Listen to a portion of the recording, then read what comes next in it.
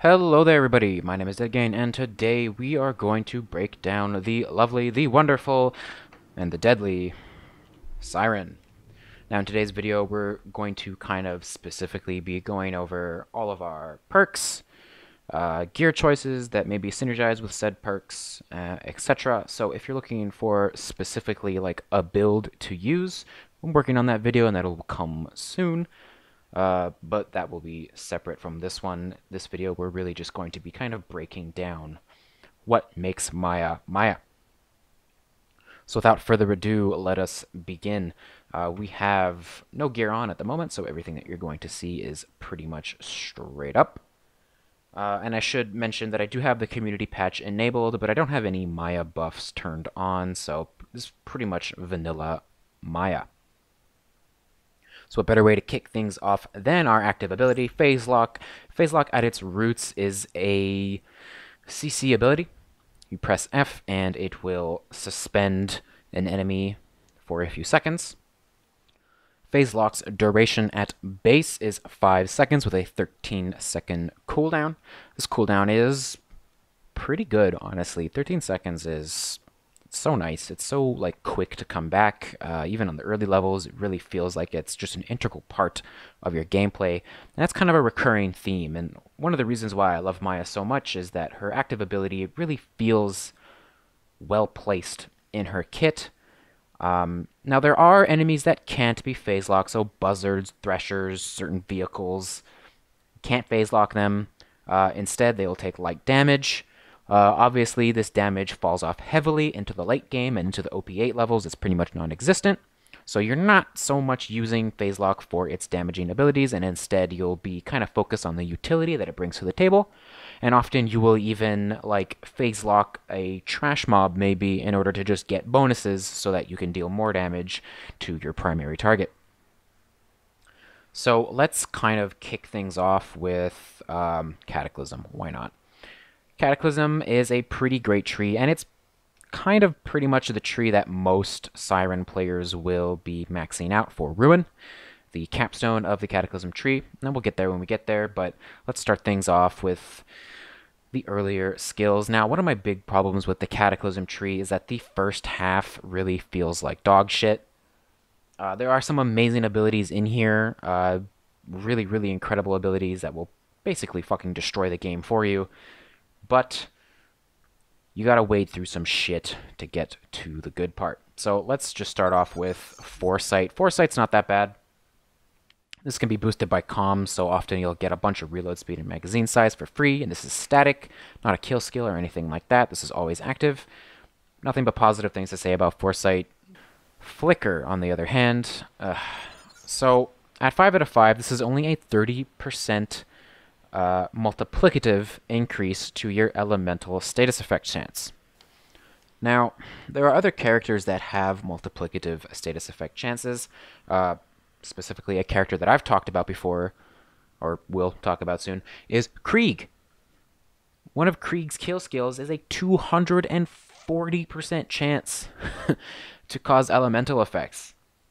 Now, granted, that's a kill skill, and 240 is 6 out of 5. It would be boosted with a legendary torch.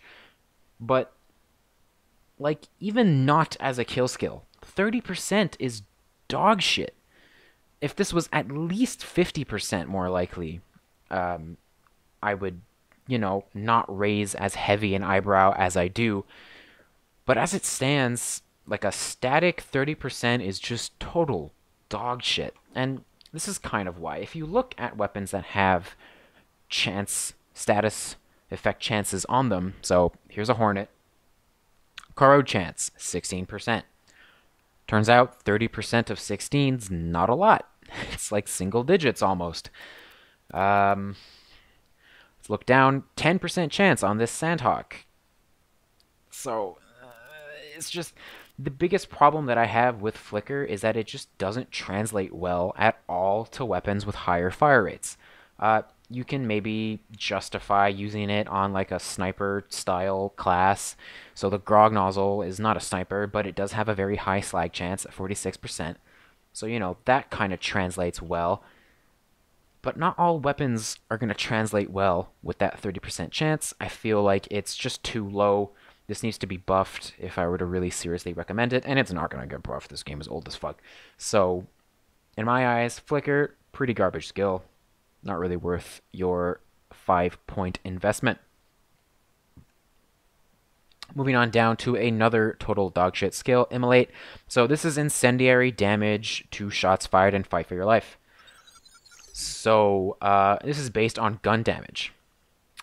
Turns out, gun damage is a good stat to base uh, multiplicative damage off of. This is kind of a big buff of incendiary damage when you go down. Uh, but my biggest problem and gripe with this ability is that it's only active in Fight for Your Life. And I cannot suggest that you sink 5 points into a talent that's only active in Fight for Your Life.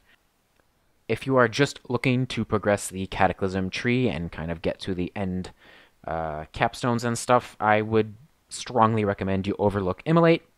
On that same vein, before I touch Helios, Backdraft is a fucking joke.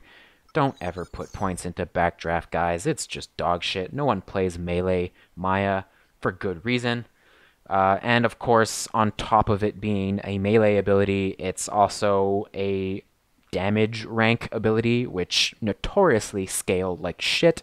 So, yeah, backdraft, don't even fucking bother. Absolute waste of your points. Now, Helios is kind of a. Eh. So, what I like about Helios now, this is also a damage rank ability, which means that the damage in late game is just not really all existent. However, what I like about the Helios ability is that it ties into your phase lock, so, you know, you have some synergy there. Not only does it tie into phase lock, but it's also got like the AoE fiery explosion thing happening, which is a lot like Ruin. So Ruin has like a slag and electrocute and corrosion in an AoE. All you're missing is fire. So for kind of completionist sake, I would say Helios is not a bad choice. At the very least, put one point into Helios so that you can kind of get that fire dot ticking on enemies at the very, very least. Uh, this is actually not too bad in early game, and uh, late game it does fall off. Doesn't deal that much damage. However, I still maintain that I like having all of the elements hitting in the phase lock, so I kind of like Helios. Crucify me for it. And then we get on to possibly the most broken fucking skill in Maya's entire tree, Cloud Kill. If you just want to be a god, like if you just want to literally like if you want to RP as like the Death Note kid, get Cloud Kill as soon as possible. Like level 16, you just do like Foresight, maybe Helios and some points in Flicker just to unlock Cloud Kill. And then you grab Cloud Kill and you literally just solo the rest of the game with a basic repeater. I'm exaggerating a little bit, but holy shit. Cloud Kill is insane. Um, it's kind of balanced around uh, Ultimate Vault Hunter mode, and it even performs surprisingly well in um, OP8 Cloud Kill is just a fucking. It's like a train wreck on uncontrollable wheels, and the wheels are the gun in your hands. It's insane. I literally cannot gush about this ability enough. It's fucking incredible. Just pick it up and stop making me talk about it. Chain reaction is actually kind of great. Um, it kind of depends on how you use chain reaction. So at 5 out of 5, this is a 40% ricochet chance. Um, this works really well with weapons that have multiple bullets. So think the Pimpernel that splits off into extra projectiles. The Sandhawk has a bunch of extra projectiles. Any weapon with a bunch of extra projectiles is going to work really nicely with chain reaction. So ultimately, you have to have an enemy phase locked. So if you are going up against enemies that can't be phase locked, you're not going to get use out of this ability, and those five points are going to feel rough. However, if you are good at using uh, your phase lock on enemies that should be phase locked, uh, and getting the most out of it, and getting those skills that require an enemy phase locked to be active, chain reaction can prove to be very, very powerful um, especially if you basically learn how to use it in kind of cheeky, I guess, scenarios. So a cheeky scenario that I can suggest is Saturn. If you shoot like a Pimpernel between Saturn and his turrets, um, while you have like some other enemy phase locked, it just triggers like this crazy chain reaction uh, akin to Zero's B0re, and you just deal like an insane amount of damage. Uh, so yeah, chain reaction's a lot of fun, and it's a very fun ability to pull off if you can get it to work. It's a little bit niche, but I think that the kind of not so much novelty, but the the chain reaction, for lack of a better word, that you can pull off with a good chain reaction shot is worth the 5 points in this ability alone, not to mention just progressing further through the tree. This is where we come down to Reaper. Literally, I have nothing else to say about Reaper, but get it. It is an opener ability. It's like, uh, you can boost this as well, so that's 80% extra gun damage on your first few shots. It's fucking insane. I literally, I have nothing else to say about Reaper, but spend points into it, because it's godly. Um, and then here's where we come on down to Blight Phoenix. Now, Blight Phoenix is a kill skill and it's rank-based damage. So once again, this isn't going to scale very well into endgame. Uh, this isn't dealing a crazy amount of damage or anything. Early game, this actually does deal a nice amount of damage. You know, I wouldn't suggest against putting points into this in the early game, uh, but the further you get into late game, the more you're going to want to be absolutely nowhere near an enemy in melee range as Maya. So I wouldn't put points into Blight Phoenix uh, late game. However, it does look like pally wings on your back. And that looks fucking sweet. So maybe for the novelty of it, I wouldn't really judge you for putting one point into Blight Phoenix just because it looks fucking sweet. and that's pretty much it. I kind of wish that they had done something more with Blight Phoenix. Um, I think the Borderlands Reborn mod, if I'm not mistaken, has like uh, bullet regeneration or something like that with Blight Phoenix. That would have really helped take this ability to the next level, give it some sort of utility. I wish they had given it something extra than just incendiary and corrosive damage in melee range. Uh, ultimately, you are, like I said, you just don't want to be anywhere near enemies' melee range um, in late game, especially as Maya. If you're running with a Bee shield, you don't want to be taking any kind of damage ever. So, Blight Phoenix kind of contradicts your own build.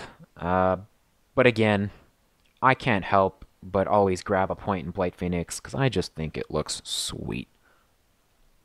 So here's where we get on down to Ruin. Ruin is an amazing ability. I really like how it kind of patches up the big problem with phase lock in that there are some enemies that just can't be phase locked. Uh, and Ruin really helps patch that up by giving your phase lock something else to do. So with Ruin, you will now be able to slag, electrocute, and corrode, and it does have an AoE. I'm not sure the exact range of said AoE, but it is generous. So you'll be able to slag multiple enemies, and this is actually going to work well with some skills that we'll discuss later on as well, that kind of extend that AoE range and kind of help just deal a shitload of AoE damage and just take things down. So, of course, the only thing you're missing with Ruin is the fire damage, which is why I also can't help but put some points into Helios in my own personal builds. Whether or not you feel that's a waste of points, I'll leave up to your discretion. However, I think that uh, grabbing Helios along with Ruin is some nice synergy, and you kind of just smack them with all the elements and uh, get some work going. So yeah, that is the Cataclysm tree, one of the more important trees to Maya. I feel like every Maya out there is probably going to go down the Cataclysm tree. Uh, Cloud Kill alone for the early game is just fucking incredible, and Ruin for the late game is crazy good. And then that's not even to mention stuff like Reaper, Chain Reaction, uh, even Foresight, honestly, is a very good skill. There's some shitty skills in Cataclysm, and you're going to have to wade through them in order to unlock everything, but I feel like it's worth it in the long run, just because of how, like, omnipotent stuff like Ruin and Cloudkill are, not even to mention how strong Reaper can be. So with that said, let's talk about the Harmony tree. Oh boy. Harmony if you're playing co-op, let me just pause on this entire guide. You're playing co-op, right? Stop everything you're doing. This is your level 16 build. You max out Sweet Release, you max out Wreck, you grab Res, you proceed to be the fucking messiah on your team, just resing people left and right like a god. I love this tree, especially for this early game usefulness. Res is incredibly good. I kind of wish there was some single player love for Res. I think the Reborn mod for Borderlands adds like uh, Fight for Your Lifetime on Res, which I feel is a really good idea.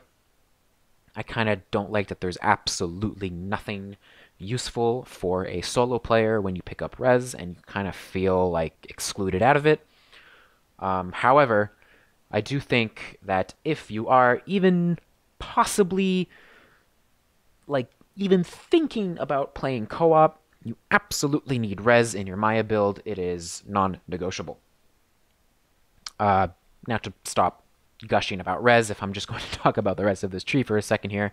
Uh, so Sweet Release is probably one of the best early game heals that you're going to be able to get your hands on on any character ever. Uh, so this can also be boosted as well. So it will it won't boost the amount of life restored by each orb, but it will boost the amount of orbs created. So at 10 out of 5, for example, you will get 10 life orbs created, which is just insane. It's just a fuckload of healing running around. It's basically like transfusion grenades galore. This has some good synergy with some of Maya's other skills as well. You can create some fun stuff. We'll talk about that in a moment. Uh, but yeah, sweet release, early game, put five points into this. It's absolutely incredible. It really helps with your sustain, and you won't even need stuff like a grog nozzle or whatever to help you out. Uh, going on over to Mind's Eye here. I love Mind's Eye. Uh, base, it's only a 25% critical hit buff, so it's not incredible. Uh, but boosted, 10 out of 5, a 50% critical hit damage bonus is nothing to laugh at. Ultimately, the melee damage bonus on this is pretty much useless, and you won't really pay attention to that or ever melee anything ever. Um, it is nice, I guess, to have a little bit of extra melee damage. Um, but again, you're not playing Maya for melee, so eh. However, Mind's Eye is not to be overlooked, and especially if you can afford to boost this ability in any capacity, it is extremely powerful. Coming on down to Restoration, this is another one of Maya's just incredible abilities, and there's also kind of a weird thing going on with Restoration as well. So, it gives you some max health boost, which I actually appreciate. I appreciate that there's something here for solo players along with some support for multiplayer players. So I kind of wish Res would follow in those footsteps, I as I had mentioned. Uh, however, Restoration is just... You get a lot more out of Restoration with less points in the late game than you would in the early game. So early game, I would, you know, if you're really hell bent on shooting people to heal them in the early game, go ahead and put, you know, as many points as you can afford into this. However, I kind of maintain that Sweet Release is a better early game heal than Restoration could be due to just your damage output in general. Uh, you can hit people with rocket launchers, and that's like a pretty good way to make use of Restoration, but I ultimately feel like you're wasting your launcher ammunition in, in that regard. So um, I like to put two points into restoration for my late game builds. 12% of damage done into healing is kind of a big deal, especially when you take into consideration that it counts amp damage. So your amped Sandhawk shots are just dealing a crazy amount of healing. Uh, and for effect, allow me to make an example here. So this is the Sandhawk. If we look at the item card, it doesn't deal that much damage, nothing crazy here that you're looking at. However, the red text on the Sandhawk hides the fact that it shoots a volley, a very interesting volley. So if I shoot over here into the wall, you can kind of see how many bullet holes I've made. It's about eight bullets, give or take. Eight times whatever that damage was is kind of a big deal. Let's add a Bee on top of that. So not only is each and every bullet that you're seeing here, each and every one of these bullets, because the Bee has this weird interaction with unlisted bullets, so none of those extra bullets on the Sandhawk are listed on the card. So that means that each and every shot is getting boosted by the Bee. That's an insane amount of healing. You can just heal motherfuckers like it's nobody's business. So again, uh, later game that you are, the less amount of points you need in Restoration. I like two points in my endgame builds. I can top off a Salvador with a Rough Rider and a Health Relic in one burst of the Sandhawk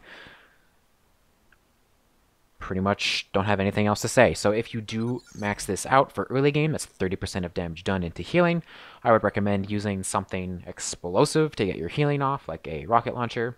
Again, I feel like that's a waste of your rocket ammunition, but that's your prerogative if you really feel inclined to do so. Ultimately, I would still recommend Sweet Release for early game healing. Coming on down here to Elated. So this requires an enemy to be phase locked, so it's not always active. If your enemy resists your phase lock, you're not going to get anything here. Um, and also, if you're running subsequence and your phase lock is just chasing a target, you're also not going to get the boost here. It needs to be phase locked. Um, so at max, this is 5% of your max health per second. It's not dog shit, um, but it's also not good enough. At least for me personally. Um, in endgame, you need to get up over health gate faster than the enemy has a chance to hit you again. And 5% of your max health per second is not going to reach you over 50% health fast enough to feasibly save you in any kind of situation. Um, again, if you really need that much healing, just you know, focus on your sweet release and kind of, you know, spend your points elsewhere in this tree and try to get down to stuff like life tap or sustenance. That's a little bit better than elated. I just feel like elated is a bit of a waste of five points, honestly. It's not quite enough max health for me to consider it strong, especially because you have to have an enemy phase locked.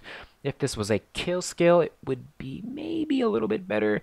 Uh, but yeah, the fact that it's tied to your phase lock and you have to have an enemy phase locked, eh, I just don't like Elated all that much. Recompense. So, 50% chance to hurt your attacker equal to health lost. Here's the kind of problem with recompense. Um, your enemies have way more health than you do in late game especially because this is only health damage, not shield damage. If it was any damage that you take, this would actually be really strong because you could maybe, you know, use some sort of OP8 turtle shield, have like this huge fucking shield, uh, and then, you know, enemies would actually be dealing a significant amount of damage to themselves. Or even if there was some sort of amplification effect to it, like, you know, chance to hurt your attacker for, you know, 200% of the damage that they deal to you. Any way to buff this ability, as it stands on its own, I feel like it's a waste of 5 points.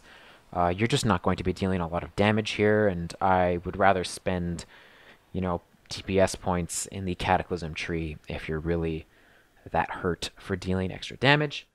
Moving on down to the Sustenance ability. This is a static 2% of your missing health every second, up to 2%, sorry. So the lower your current health, the more powerful the, the regeneration. Um, if I throw on a Rough Rider, you can kind of see this in play a little bit. So you can see there's my health going up. So that's 2% health per second. It's nothing crazy, uh, but it is static. So there's that.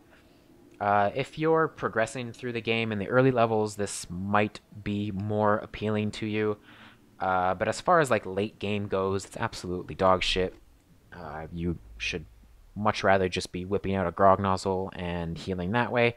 You will cap off your health in a millisecond, whereas sub sustenance just takes nine years.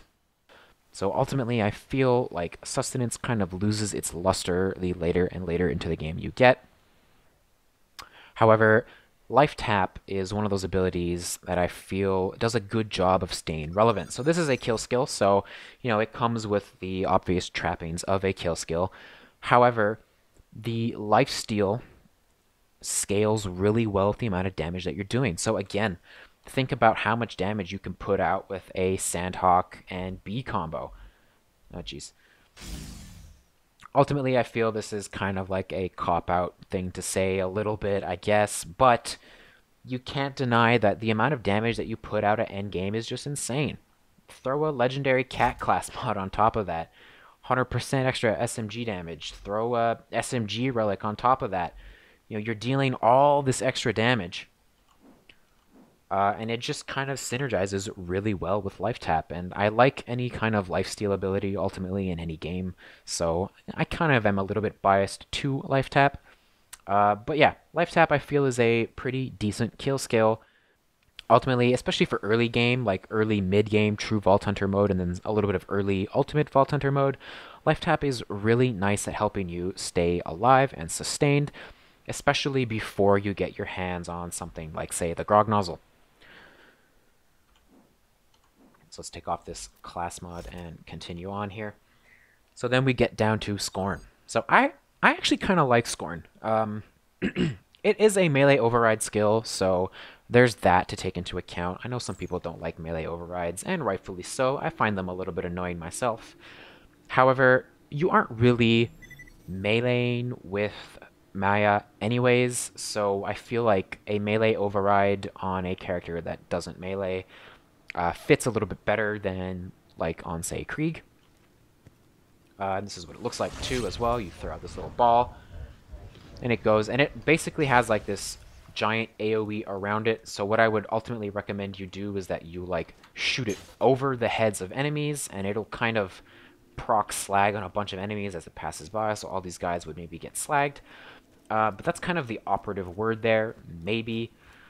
Uh, at the end of the day, it isn't a guaranteed slag. It has a chance to slag, which is, I feel really shitty about that for a capstone. Why is it a chance to slag? Uh, but yeah, you can chuck it over, it does this thing. Uh, you can skip the animation as well if you like phase lock first and then throw it. It kind of does both animations in one shot, so you can kind of do that a little bit cleaner. Actually, I haven't tested if it does the um, zero thing. Let's try that. So if I ADS, no, it still forces you to do the animation. So ultimately, you kind of have to do that little animation. It throws that ball. It has a chance to slag. My biggest, biggest gripe with Scorn is the chance to slag. Why is it a chance? This is a capstone ability. Uh, Ruin, another capstone ability, is a 100%. This slags the enemy. Why, then, is Scorn a chance? And it feels like a pretty shitty chance at that. Honestly, the amount of times I've thrown Scorn out only for it to just pass over everybody and not hit a single thing is just frustrating. Um, but yeah, ultimately, I still like Scorn, even with all its faults.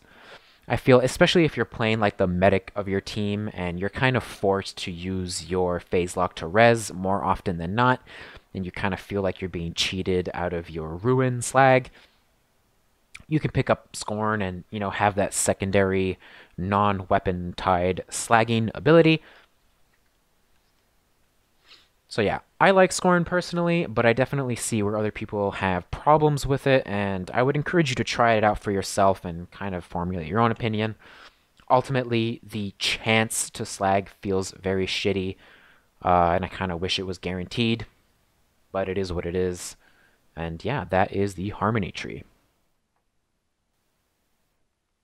Alright, time to talk about the motion tree. I absolutely adore this tree. I feel like there's a lot of very useful utility for any kind of Maya build inside of this tree. And, you know, depending on whether or not you want to have a significant or a light investment into the motion tree, there's uh, options for everyone, really, inside of this tree. Uh, I guess with the exception of the capstone ability, I have some bones to pick with Thoughtlock, and we'll get there when we get there, but yeah, aside from Thoughtlock, there's some really awesome abilities inside of this tree, especially earlier on. Uh, and it really only gets better as it kind of gels really well with other Maya builds, and it just gets better the more you think about the synergy that can be pulled off here. So to start things off with these tier 1 abilities, some of my favorite tier 1 abilities in Maya's scale trees, we have Accelerate. So at 5 on 5, Accelerate is a 15% gun damage boost with a 20% bullet speed boost. As a static ability, this isn't a huge amount of bonus. Um, this can be boosted, so you can get a 30% gun damage and 40% bullet speed. That's when it starts kind of really piquing my interest uh, in terms of just like how strong of a static boost it is. That's pretty formidable if you ask me and it's definitely worth the points. Um, I don't think it's going to make or break your build either way. The bullet speed is a nice addition, especially for weapons like the uh, Sandhawk. But yeah, overall, Accelerate, nothing really negative to add here. Good static ability. Moving on. Here we have Ward, and here's another uh, just static ability boost. This can also be boosted, which is pretty nice and gives you quite a hefty amount of shield capacity when boosted on 10 of 5. So 10 on 5, you're looking at a 50% shield capacity with a um, minus 80% shield recharge delay, which is absolutely stellar, honestly. Uh, so this ability, for a static ability on its own, it's good, and then once it's boosted, it just becomes incredible, honestly. 50% shield capacity is nuts. Uh, not to mention the synergy that this has later on in the tree with stuff like inertia. So once again, another really good static boost uh, here on the tier 1 here on motion. Really nothing bad to say here. Uh, really that shield recharge delay is something to be like kind of impressed about. Very good ability. Moving on down now to Suspension. Now this is one of those abilities that it's neither good nor bad if you ask me. So you get a phase lock duration increase. This can be boosted as well, so you can get up to 5 seconds extra on your phase lock. I personally wouldn't go as far as to boost this ability. I think spending 5 points on it like this isn't more than enough. Uh, because there are certain times when it's just not going to be doing anything useful for you. So for example, if you are using your phase lock on a buzzard or any other kind of enemy that can't be phase locked, like a thresher, uh, it's basically five skill points wasted. So the times when you don't need suspension, it can feel like five skill points wasted. However, the times when you do need it, it does feel very nice to have. So again, it does come with that caveat, but I think that it's overall one of the better abilities in the motion tree, and it's not as bad um, as some people may make it out to be. Moving on to Kinetic Reflection. This is the first ability in the motion tree that I have a serious bone to pick with. Now, uh, if we just go ahead and go 5 on 5 here, you can see that the deflection chance at 5 on 5 is 100%. So, again, this is a kill skill, so it'll be active whenever you get a kill. So once I have a kill, I have a 100% deflection chance. Okay, cool. And I have a 50% damage reduction on the deflected bullets. Okay, cool. Here's my first big nitpick with this ability. Deflected bullet damage is only 100%. Now, you may think to yourself, dead gain, what are you saying? Only 100? That's that's fine. That's all the damage is being reflected perfectly, right? Uh, not really. Unfortunately, especially how the way things work in like late game level 72 and then beyond that into OP8 is that the enemy's health is like exponentially larger than the amount of damage that they're dealing to you. So this is especially true in the OP levels where enemies just have a fucking massive amount of health um, but the damage that they're dealing to you is still kind of relevant to your own health. Because the player's health doesn't increase into OP8, you're not actually gaining levels when you get into OP8, you're just gaining levels on your gear. So the deflected bullet damage doesn't scale really well with the enemies that are shooting you because enemy damage really kind of like it does get worse into OP8 definitely.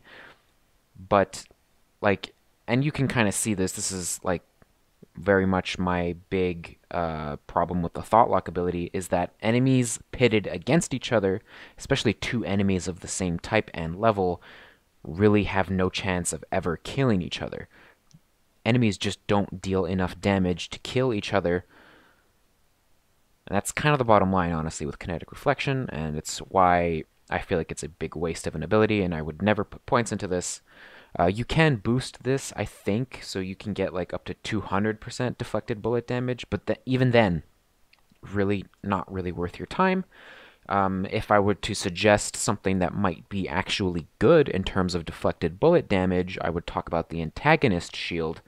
Uh, that's a Seraph shield that you can acquire uh, with crystals or off of raid bosses, and that shield has like an 800% deflected bullet damage modifier, and that that is a good deflected bullet damage. That actually deals a decent amount of damage, and you would think 800 is like a massive, huge chunk of damage. It's really not. Uh, in the end, it's only ever not that much damage when it is reflected. It does have less of a chance of actually uh, reflecting those bullets, so you know it's not going to be as consistent maybe as kinetic reflection. However, the damage that it outputs is much more relevant.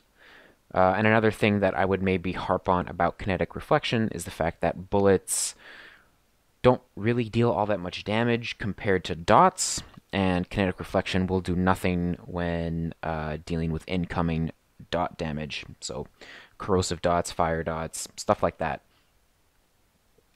Kinetic reflection really won't help you out in that area, and therefore I just don't feel like it does as good a job as some other defensive kill skills segue into Inertia. Inertia is a great defensive kill skill. So this is 4% of your max shields per second with a 50% reload speed boost.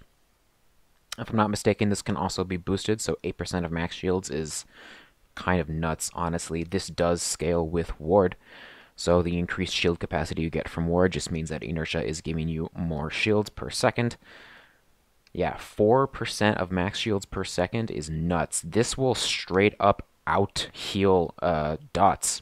So if you ever notice yourself like on fire or if there's a corrode dot ticking on you, try and get inertia to proc and kind of just giggle at yourself as you see uh, your shield pretty much out tanking the damage dot. So yeah, absolutely love inertia. The reload speed on it too is really good.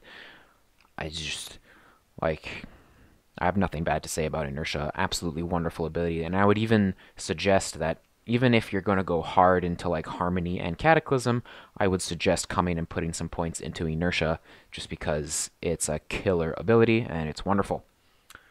Uh, so before we talk about the game changer here, let's talk quickly about Fleet. Fleet is a really fun ability. Um, I wouldn't ever put points into Fleet in a normal everyday build. It is very specifically for like, I'm gonna go farm this item for a few hours, let me change my build and put some points into fleet. Therefore, I can move really fast and throw on a breakneck banshee so that I can just be a fast girl. So if I throw on the Rough Rider, which is a continually zero capacity shield, so the Rough Rider acts as if it's always drained, uh, and then if I didn't say this already, uh, Fleet is only active when shields are depleted, so your shields do need to be depleted for a Fleet to take effect. And then on top of that, if I go ahead and equip... Why do I have this? Go ahead and equip a plus 6 to Fleet, uh, you're just going to be the fastest person. So this is me just normally walking right now. I've, And then once we're sprinting, yeah, we're just kind of breaking the fucking barrier of sound here. Uh, if I just throw on like any old shield and let it start charging to kind of give you a good uh, impression of the difference of speed. This is normal walking and this is sprinting. Yeah, Fleet is just insane in the amount of speed that it can give you. If ever you want to make like a build specific to farming certain items or just, you know, want to go fast, Fleet is where it's at, as you can just be the speediest girl. Oh. I wanted to make that smooth. Anyways, yeah, Fleet, absolutely wonderful ability. This is a 110% movement speed buff if uh, boosted. So that's just crazy good in my book. Uh, like I said, definitely a niche ability that you would pick up. If you were to pick up, it is definitely a niche ability.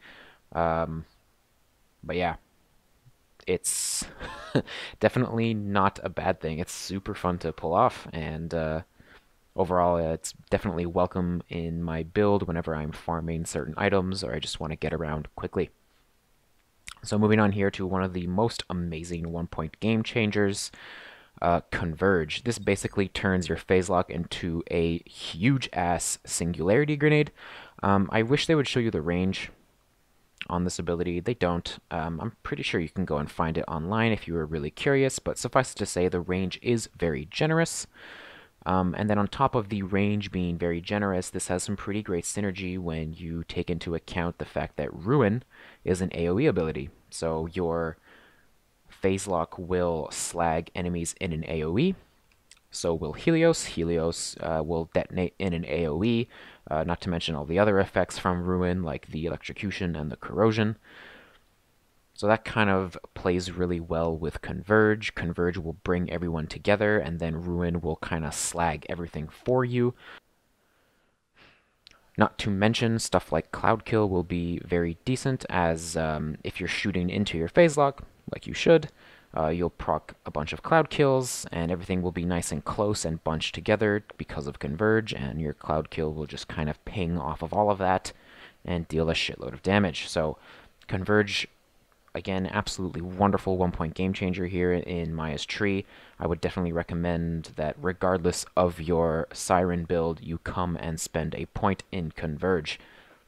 Moving on down now to Quicken. This is kind of a boring ability. In terms of spending 5 skill points, I kind of am on the fence about Quicken. It kind of feels like I would rather be putting these five points somewhere else. Like I would put these five points maybe into suspension or inertia to make my way down to subsequence if I was actually building a Maya. kind of feel like quicken a 30% cooldown rate isn't huge. Your cooldown is only 13 seconds with phase lock, so reducing it by 30% doesn't feel massive. On top of that, you can get much better cooldown reductions through um, relics. I kind of went relic farming on my Maya, so I've got a bunch of these. Here we go. Bone of the Ancients will give you a 40% cooldown reduction. So that's already better than what Quicken could offer you. And it's just a relic versus putting 5 points. So take it or leave it. Um, I kind of don't really like putting points into Quicken personally, but it's not the worst thing you could spend points on, I suppose. Moving on down now to a absolutely wonderful ability, we have Subsequence. So at 5 on 5, this is a 100% chance for your phase lock to uh, go around and target another enemy. Basically, there's some really interesting synergy here when it comes to like all of your abilities, really. At first I had kind of brushed off Subsequence as a lackluster ability. That was niche. Uh, but oh man, I was so, so freaking wrong. Subsequence is amazing.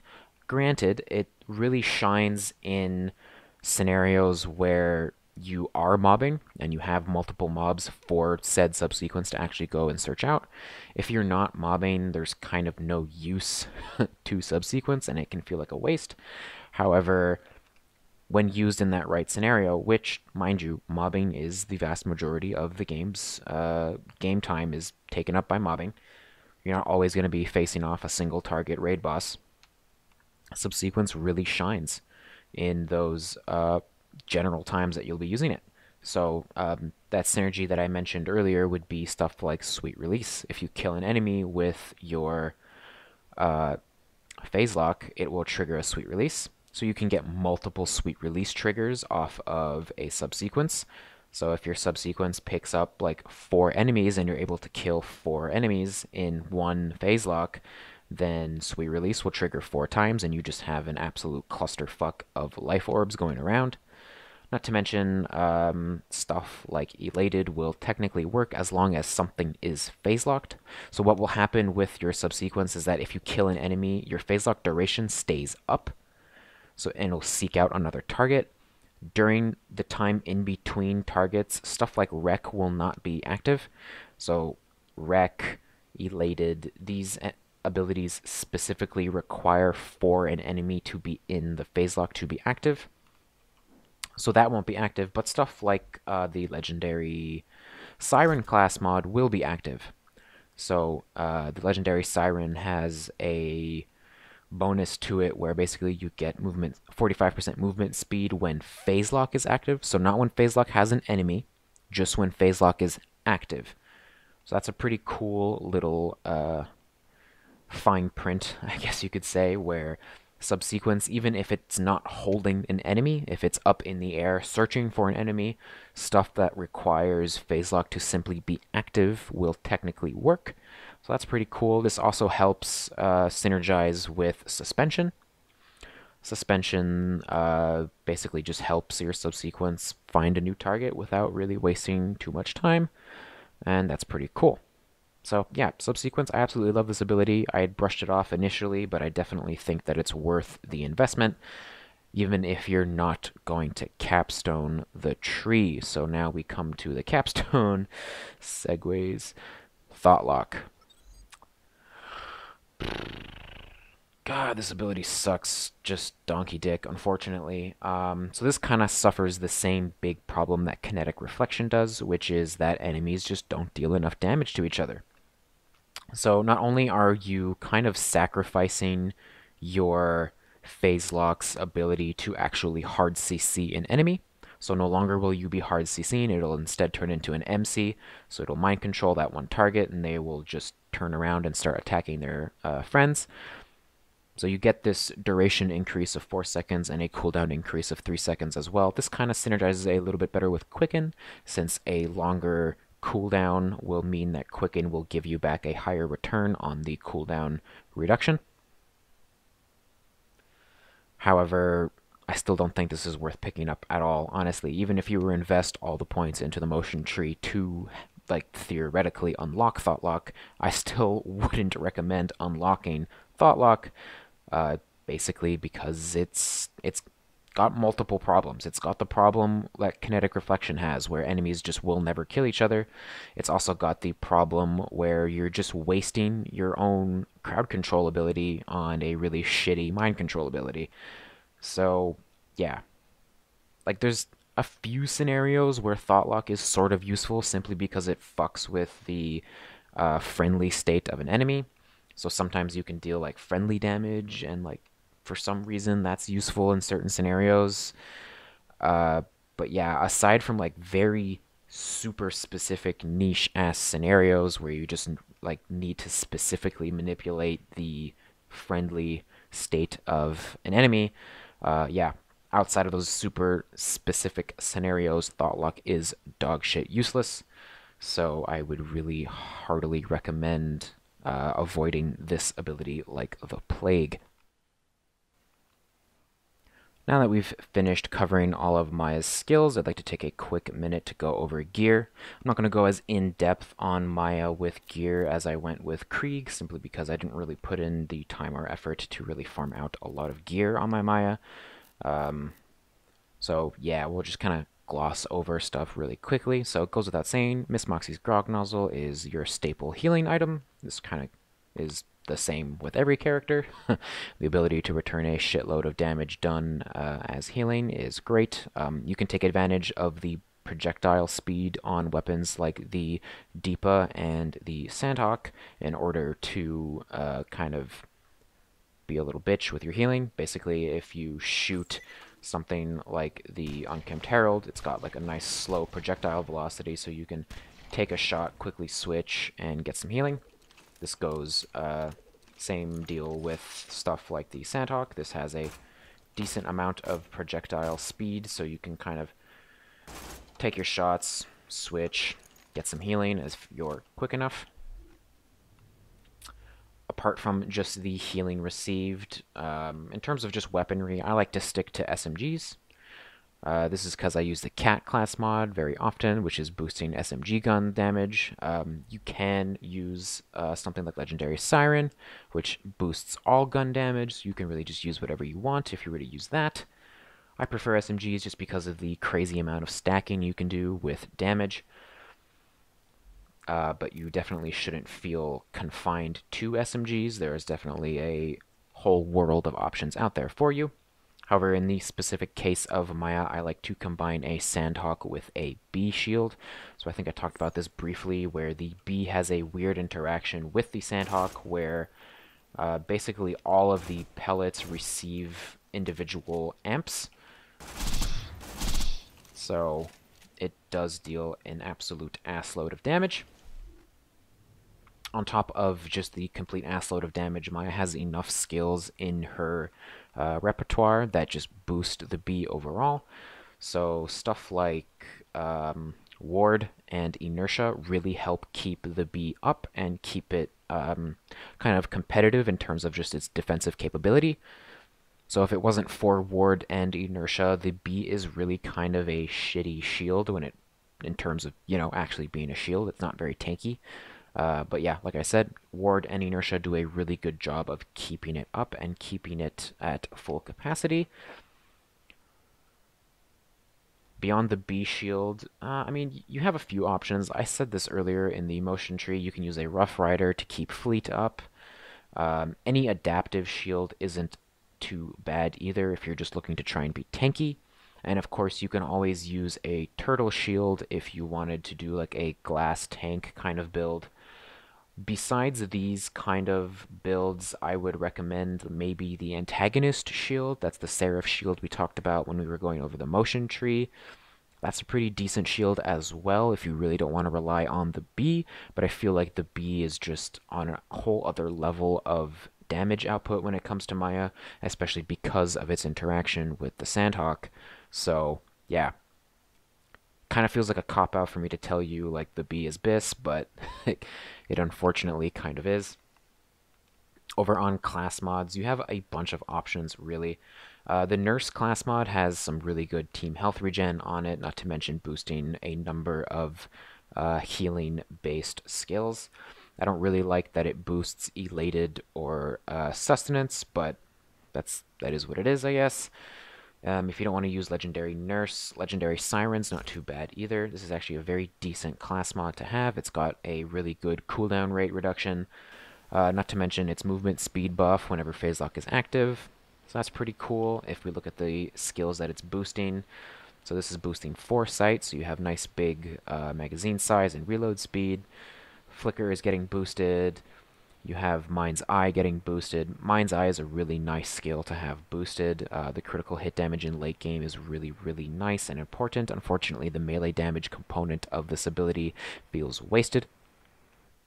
And then aside from that, having uh, both Accelerate and Ward being boosted is pretty crazy good. Uh, as you can see, my Bee shield is just a little over 1 million shields, which is kind of crazy if you look at the Bee shield's capacity, normally here it's only got 600k, and we're going all the way up past that to like 1 mil, so that's pretty impressive. Uh, we did talk about Breakneck Banshee briefly. Really, the only reason you're going to have a Breakneck Banshee equipped is so you can fleet. That's kind of self-explanatory, fleet on fleek. Uh, and then, yeah, for my everyday kind of build, I'm usually sitting on a legendary cat class uh, that boosts your SMG gun damage like none other. There are no other SMG damage boosts like this in the game, if I'm not mistaken, so Maya is your go-to character if you want to boost SMG damage. And if we take a quick look at the skills it's boosting, uh, so it boosts Reaper, which is crazy good. 80% um, gun damage on opener is fucking insane. Foresight's getting boosted, so that's kind of cool. Uh, the Wreck boost is pretty freaking formidable. 100% fire rate and 60% gun damage with an enemy phase locked is nuts. You can really feel the difference. Uh, again, Mind's Eye in late game is a very um, useful ability to have boosted. Unfortunately, we don't have Ward boosted like the Legendary Nurse, but we get Accelerate, so, you know, stuff like the Sandhawk will benefit from that bullet speed more than anything else. Uh, and you know, it really helps patch up the biggest flaw of the Sandhawk, which is its very slow projectile velocity. Uh, to briefly touch on grenades, honestly, any grenade is fine. Maya's not the kind of character to really be picky about the grenade that you're using. Of course, if you want to be effective versus uh, raid bosses, you want to have a Bouncing Betty. Bouncing Betties are really good for keeping raid bosses slagged. Uh, just the amount of slag that you can keep rolling while you are free to kind of move around and do stuff with other weapons is really important. uh, beyond using Bouncing Betty to slag, you can always uh, rely on Ruin and or Scorn. You Can't really rely on Scorn as much as you can Ruin, but yep. Um, aside from Bouncing Betties, I kind of like the Chain Lightning for healing. So if I switch to a Rough Rider here to kind of demonstrate this, you see I have like less shields. Actually, um, this will probably help show things off if I equip this Turtle Shield. There we go. Okay, so I have like absolutely no health right now, and then with hopefully one Chain Lightning, there we go, full health. With a Grog Nozzle, of course, don't forget. The Grog Nozzle is what's making this possible. Having the Grog Nozzle just passively equipped like this makes you heal off all the damage you're doing. So yeah, Chain Lightning is just a godsend when it comes to healing, and then of course you could use stuff like your Phase Lock to also proc a significant amount of healing. To briefly touch on relics, um, I kind of like having any kind of proficiency relic on Maya. So ordinarily, just any old proficiency relic would be fine. I do have a Bone of the Ancients here. I was farming relics earlier, so you don't need a Bone of the Ancients. Any old proficiency relic will do the trick. I think I have one in here. Yeah, so 44% cooldown reduction with this just stock ass proficiency relic is pretty nice. There's also like SMG damage uh, relics. Those are pretty cool too if you want to stack a little bit more SMG damage. Uh, but I quite like the proficiency uh, bonus from the Bone of the Ancients. Phase Lock already has a pretty small uh, cooldown, so just any kind of reduction on it makes it even snappier and more fun to use. That's kind of everything I wanted to talk about, honestly. Um, yeah, Bee and Sandhawk is just a retarded amount of damage. You can absolutely just kind of carry yourself through the entire OP8 challenge on nothing but a Bee and a Sandhawk. In fact, I'm pretty sure my first OP climb with Maya, I had an OP6 Sandhawk. So I was doing the OP8 challenge with OP6 gear, and it was a Sandhawk in Bee, and it was everything was just melting. So Maya is an absolute just god. She kicks ass at endgame and early game alike. Uh, really no complaints, honestly. A very well-designed character and a very fulfilling character to play, both in early and end game. So yeah, guys, this has been my entire Maya review. Thank you very much for sticking with me all the way to the end. If you did stick to the end, then you the real girl. MVP girl? Boy? I don't know, man. Thank you very much for sticking with us. In the future, I will release a build video for Maya where I go over just my general build and how I like to play her, and maybe kind of show that off. Until then, however, stay frosty, ladies and gentlemen. Thank you very much for watching once again, and I'll see you next time.